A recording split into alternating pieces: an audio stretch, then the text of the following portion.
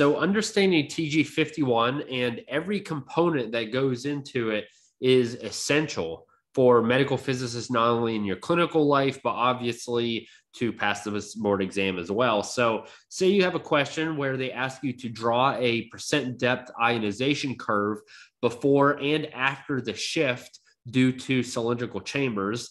How does that change from photons to electrons? In what circumstances do you not need that shift? Do we measure percent depth dose? And if not, how do we get that? What is your setup like for photon and electron PDDs? And if your chamber isn't in TG51, what characteristics are most important to determine what some of those important values are based in the tables of TG51? So to begin, let's look at let's just look at photons first. So uh, pardon my bad drawing. So now we are going to draw the percent ionization. So first, let's do before the shift. I know initially this isn't going to look like anything, and I am going to draw this a little exaggerated probably just to get the point across. So dotted line here is percent ionization. This is before the shift. So I want to make that clear. That is before we shift. Now, after the shift, we are going to use a solid line and we are going to do something like this. Sorry, that drawing, but it is to the left. It is upstream. It is to the left of this dotted line and that is after. Now, notice also uh, this is a percent uh, ionization, and then this is distance. Or I, I should say depth, not distance. It kind of is distance, but it's depth. So when we say it's going upstream, we mean it is after you make your shift, your curve is going closer to the surface. So that is for photons now, if we look at electrons, it's the same thing, nothing changes. It's just obviously the curve is going to look a little different because now we're looking at an electron curve instead of a photon curve. So, again, dotted line is before the shift. And here we have that's really exaggerated. It's definitely not that far apart. It's probably this photon's pretty close. They, they are very close to each other, but I guess just for exaggerated effect, you can see this electron curve. So that is what it looks like. And that's a shift due to the fact that we are using cylindrical chambers. So uh, how does that change from photons to electrons? And you know, let's also talk about why we need to shift before I actually jump. Might as well cover everything. So we shift because the cylindrical chambers need it due to the fact that there's forward scatter of electrons in high MV beams, like we use for linear accelerators. So that makes the chamber appear to be measuring at a point upstream from the actual location, again, which is why I say it's closer to the surface. Electrons hit the top half of the chamber, but not necessarily the center because the obliquity does uh, go through. So the center is upstream.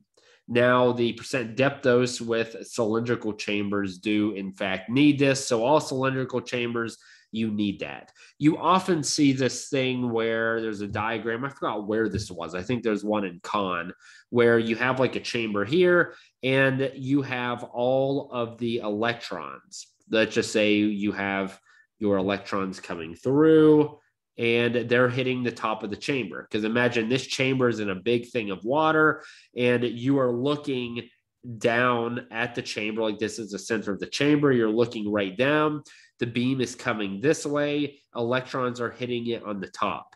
Well the distance between this center electron and the center of the chamber is some distance but if you and i know this is a bad drawing but if you really think about it, it it's the same thing. This distance from this electron over here to the center is greater so D2 is greater than D. And so you have some of that obliquity that goes into it, which causes this kind of shift that's going to be needed.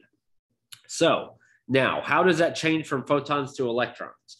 Photons, we are going to use 0.6 RCav. That's the radius of the cavity of your chamber. And then for electrons, we have 0.5 RCav. So now, in what circumstances do you not need that shift? So if you are using a plane parallel chamber, the effective point of measurement is the point of measurement, meaning the front window of the chamber. So you do not need a shift. Now, do we measure percent depth dose? And if not, how do we get it? So no, we actually measure percent ionization when we do all of our scans. It's important to note down here, and I'll circle this, it's very important that your percent depth dose is equal to your percent ionization multiplied, let's see how best to put this, multiplied by the restricted stopping power, and that's of water to air, of the distance to D max. So that is what percent depth dose actually is. So you need the percent ionization to find percent depth dose. But this collisional stopping power in water is different for photons and electrons. So for photons, it's constant. So regardless of the depth that you are in, this L over rho value is constant, meaning that your percent depth dose is essentially percent ionization. So that's what you're measuring. But in electrons, it varies with depth. So depending on the depth you're here in your percent depth ionization, this L over rho value is going to be different. So you can't just say percent depth dose is percent ionization. And that's why you have scanning protocols that will automatically make that shift and, and do these things for you. So that is very important to remember and answers that question. So, what is your setup like for photon and electron? So, for photons, we are going to use a waterproof sleeve.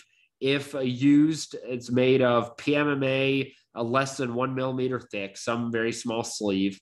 For photons, output can be SSD or SAD. And it, it depends on your clinic either one is is good. There's not one correct choice. I think ssd is more popular but again that doesn't mean sad is wrong. But now for electrons percent depth doses must be 100 cm ssd so that that's the one you have to have. You can't do sad on it and finally, your chamber isn't in TG51. If you remember, there are a lot of corrections and values based on your chamber that you're going to use for correction factors within TG51, but say your chamber isn't in there. So, what things are you going to have to look for to say, okay, my CC13 isn't in here? So, what chamber most closely resembles it, and what characteristics do I want to look at to compare to choose those values? So, the closest matching chamber with the characteristics in priority are one, the chamber wall material. That is the most important thing. So if you have to look up another chamber to compare to your chamber, chamber wall material is the first thing. Then look at cavity radius, then look at central electrode material, and finally consider wall thickness. If you have any questions about this, please comment below. Thank you for watching. Good luck studying.